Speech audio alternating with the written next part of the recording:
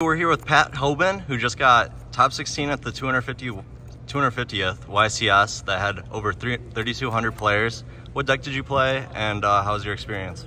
Hey, how's it going? Yeah, I played Kashtira. Um, it was cool. It was definitely like a really big event, um, so it was good getting to top.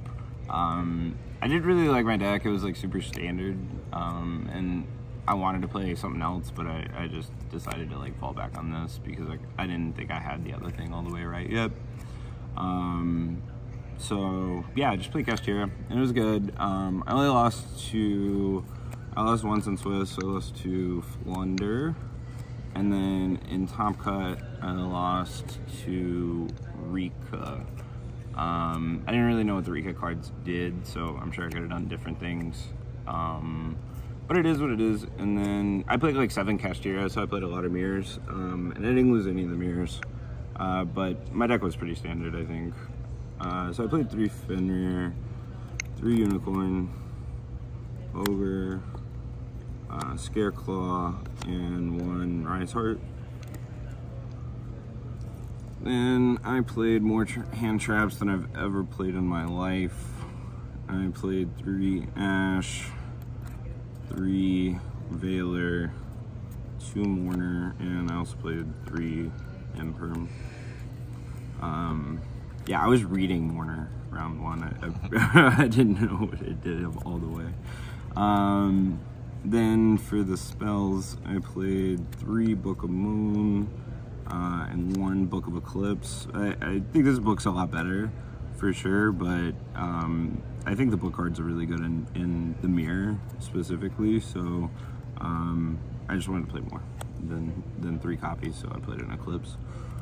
And then I played three planets and a terraforming I like the uh, Scareclaw Field spell, um, but I didn't end up playing it. I just played more hand traps, I guess. Uh, then I played three Theosis and three Birth. And then I played three Prosperity and one Desires. I would have probably played two of this in retrospect. I don't really think it's like a big deal if you draw them together because usually you'll get another turn and then they were just both good. It just took a second and yeah, they were good. They're they're consistency cards and I think this this deck gets stopped by like kind of basic things like just Ash on the field spell and then you set a bunch of like interruptions like not that infrequently. Um, so I feel like cards like Desires help. Then um, for the traps I played Big Bang and Preparation. Um, preparation I'd probably play it again, but it's it's not the best. You can like kind of play around the kaiju by like having the scareclaw in hand with it, and if they kaiju you, you just summon it back. Um, but I think double a rise heart is probably better than that. Um, then for the extra deck. And how many cards in the main? Is 40. Okay. Uh, then I played three Arise Heart, um, I don't think this really comes up that much in the mirror, except for in the mirror when uh, they like Diablos one, summon one, you kind of want the third there. Um, but I, I, didn't use the third a bunch either. Um, two Shangri-Ira, then two Zeus, um, Diablos, Drago uh, two Big Eye. I don't think I'd play Dragossack again. Uh, maybe I say that just because like I didn't play any Labyrinth, and I guess it was primarily there for like Skill Drain. Um, but yeah, I don't think I ever summoned this. Uh, two Big Eye. Um, yeah, it's really just for Diablos. I don't think there's like anything else. Like you wouldn't summon two in the course of a game if it weren't for Diablos.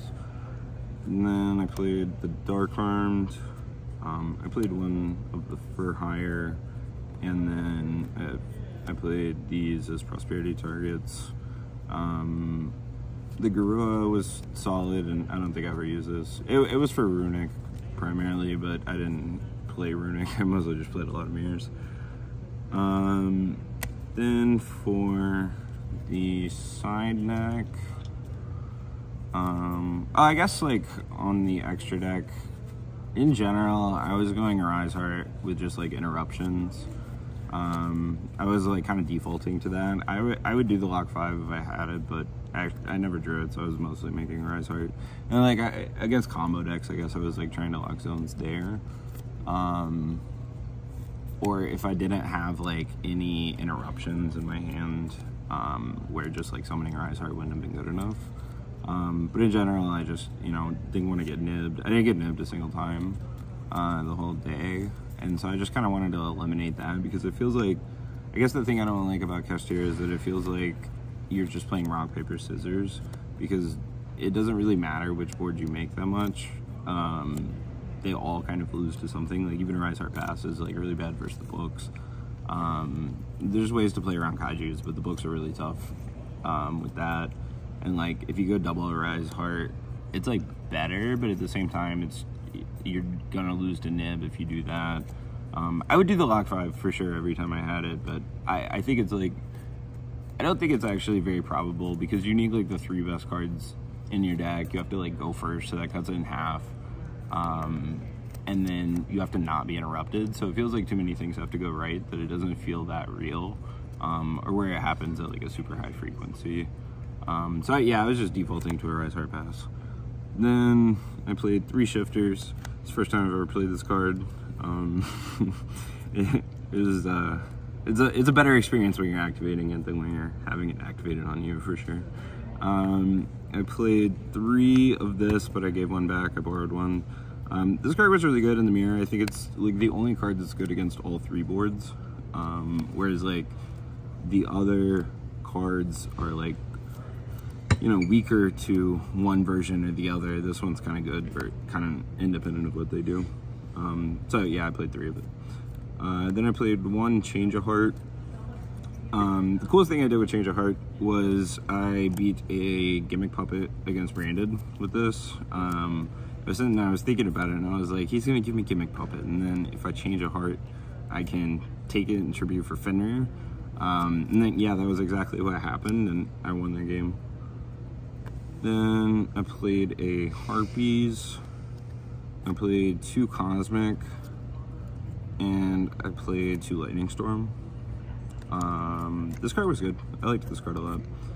Um, and then I played three evenly. I did not like evenly. Like I don't. I didn't side in the mirror. Um, I don't think it's great in the mirror. Well, simultaneously, it can be good against you for sure. It's just like it's not the way I really want to play the mirror. So I didn't want to like overside a bunch of cards. So I was mostly just siding like these um, the three Karkers and the Change of Heart, and then this was primarily for Labyrinth, but I didn't play that either. Um, so I have not really liked this card ever since I've been siding it, but I've kind of like regrettably sided it for a few events now. Um, I still kind of feel that way, I, so it may make it back into my side deck, but I, I don't like Evenly very much. Um, but yeah, that is the whole deck, and thanks. Yeah. Anything else you want to say? Um, shout out to RMC. Uh, yeah, nothing. It was a great event. Uh, looking forward to Philly. All right. Awesome.